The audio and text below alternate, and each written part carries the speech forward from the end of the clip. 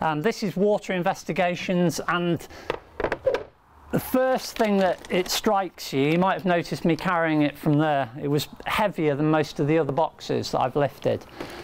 And that's great because all that tells you there's a load of stuff in it. And this is again another advantage of a kit club. It's, you know, you might have three hand lenses in your science cupboard. Um, you'll get 10 or 15 when you borrow a box from the kit club. This has got, um, well what hasn't it got?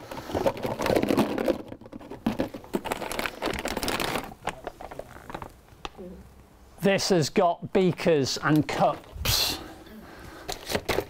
It's got night light holders. Have you seen these? I'm going to do a little demo with these because this is, again, um, from a safety point of view, it's absolutely brilliant to be able to work with these. Um, and that relates to that. Um, what did we start with? Yeah, look at this. Um, more thermometers here than I can imagine. Hopefully glass, hopefully not the old mercury ones. Um, and really nice. You know, what's the warmest part of our school? Let's go and find out. We could put it over here, we could put it in a different part, we could put it on the floor compared with the ceiling, in the draft of a door, in the draft of a window, um, sunny side of the classroom, non-sunny side of the classroom, outside, inside, um, under bushes, on top of bushes, whole, just wherever you want to measure temperature, you can put that giant thermometer and it's easy for them to read.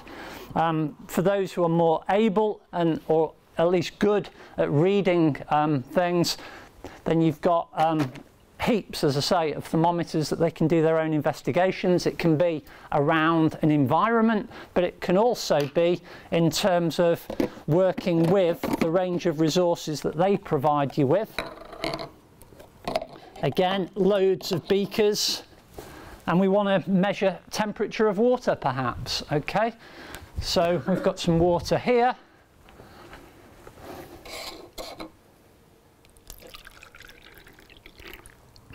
Okay, so because at this point, I'm obviously going to read the thermometer.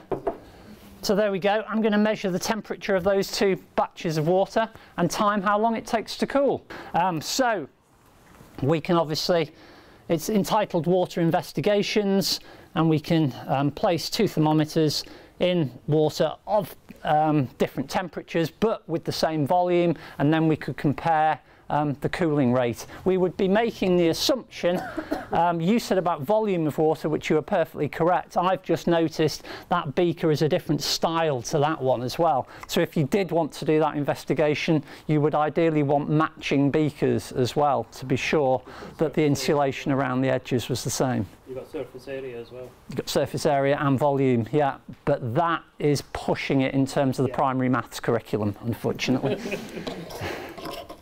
Um, but again, it's bringing maths into science or bringing science into maths. You can also bring optics into water as well. You can. If you look through that, it's like there's a lens.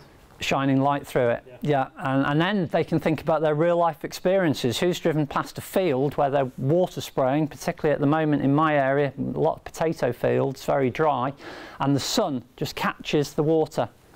Um, and the thermometer bent in the water?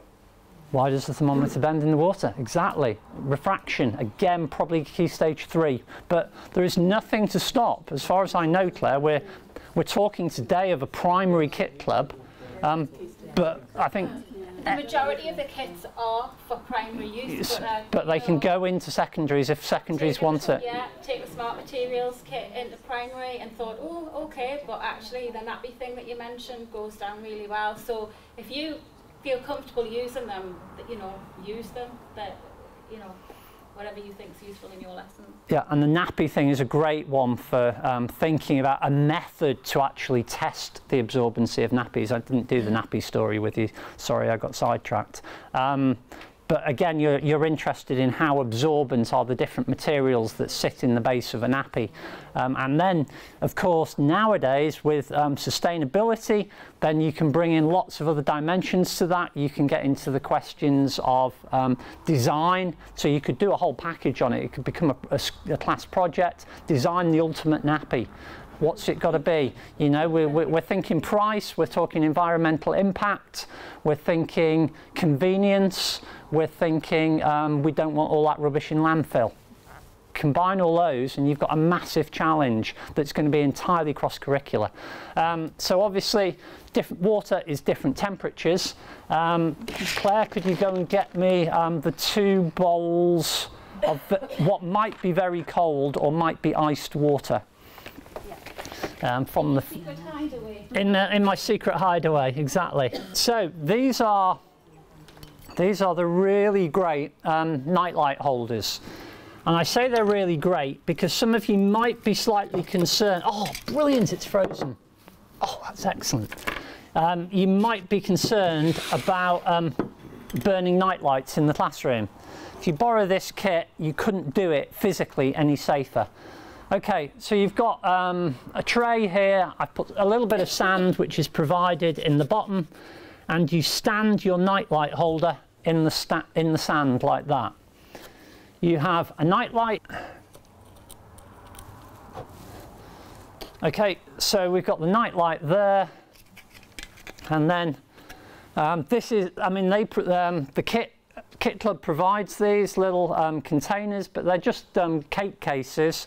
Um, I am in the habit, I cannot eat um, a Bakewell tart or whatever, um, I can't think of the brand, others are available.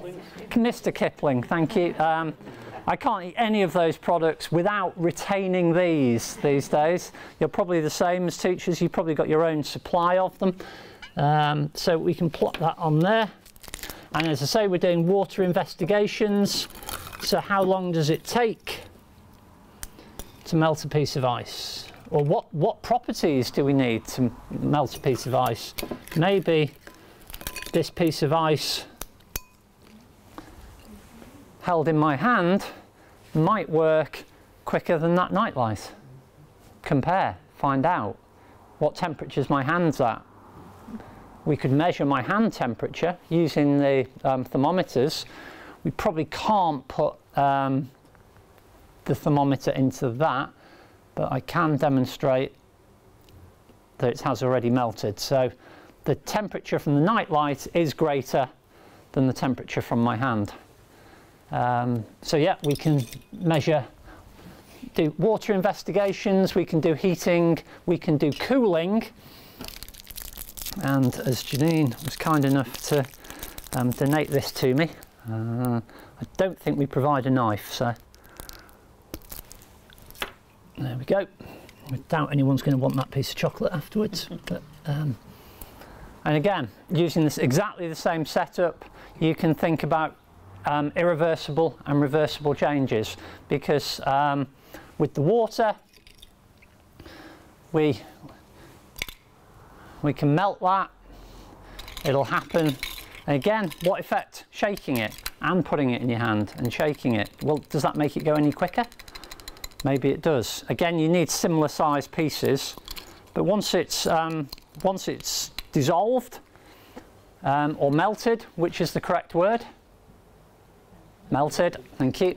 Um, once it's melted you can refreeze it. So you take everything back to the freezer and it's, so the change with water um, is a reversible change, whereas the change with chocolate is quite an interesting one.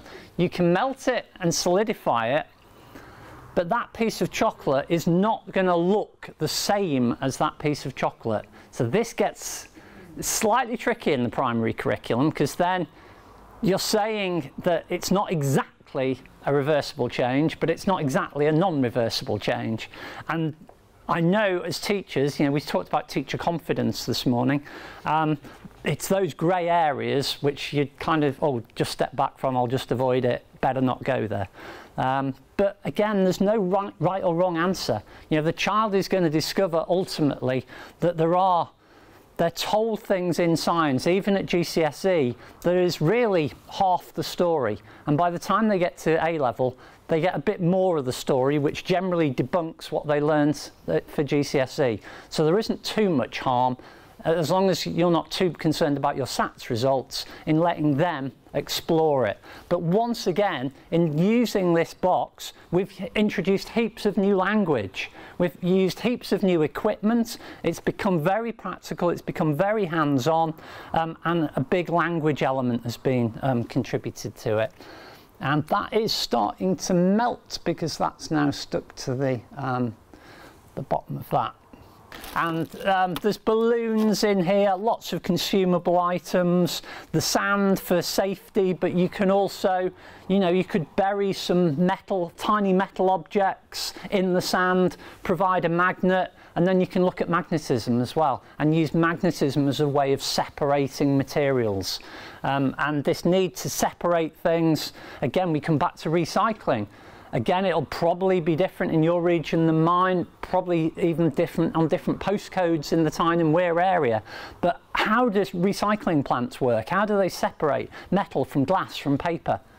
Um, so again, it'll be applying science knowledge and applying the different properties of materials which you can investigate, whether it's their reaction to water, heat, etc., etc.